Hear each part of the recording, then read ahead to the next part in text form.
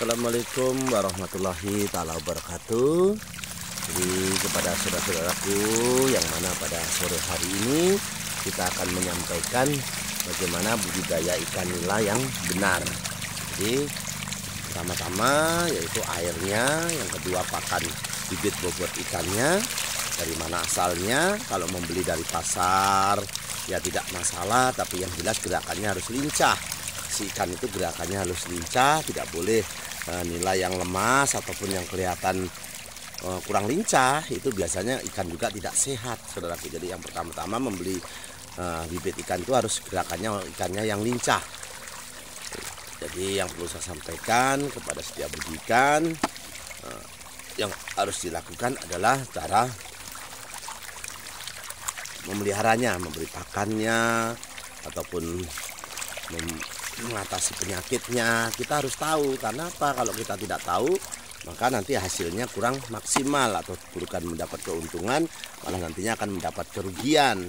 Tapi insya Allah di video ini kita sampaikan bagaimana caranya memberi pakan yang benar. Pertama-tama harus dibibis.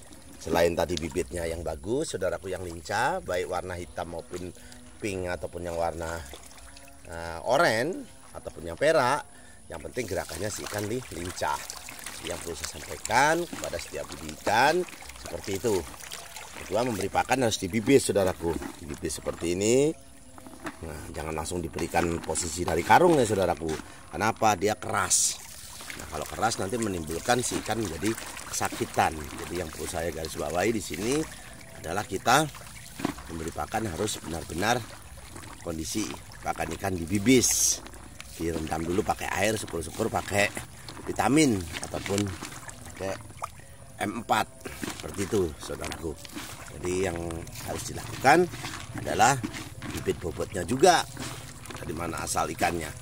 Jangan lupa setelah itu kita berdoa memohon kepada Allah bagaimana supaya kita mendapatkan hasil dari ikan ini dan kita mendapatkan rezeki yang lebih dari ikan jadi saya terima kasih banyak kepada penontonnya yang sudah subscribe semoga dipanjangkan umurnya dijauhkan dari penyakit dan musibah ya Allah. Dengan doa selamat hambamu ini ya Allah. Allahumma inna nasluka selamatan fidin wa ziyadatan fil ilmi wa barakatan fil rezeki wa taubatan qabal maut wa rahmatan ba'dal maut. Allahumma wina laina fil sakaratil maut wa najatan minan nar wa atwa hisab ya Allah. Allahumma fa'ana qala ahwal bala ahwal pasa ahwal munkaro wa suyufal muqtalibata wa sadaida wal min hanamat horo minha wa ma batonah min baladina hadda khoso wa min buldanil muslimin. Amma innaka ala kulli syai'in qadir. Ya Allah Allah hadini wa ala kuliyatin solehah bijahi nabiyina Muhammadin sallallahu alaihi wasallam. Bil barokati al-fatihah saudaraku. Joyo Joyo Wijayanti. Semoga saudara-saudaraku sehat selalu. Kami akhiri dulu. Wabillahi taufiq walhidayah Wassalamualaikum warahmatullahi taala wabarakatuh. Tabarakallah ya Allah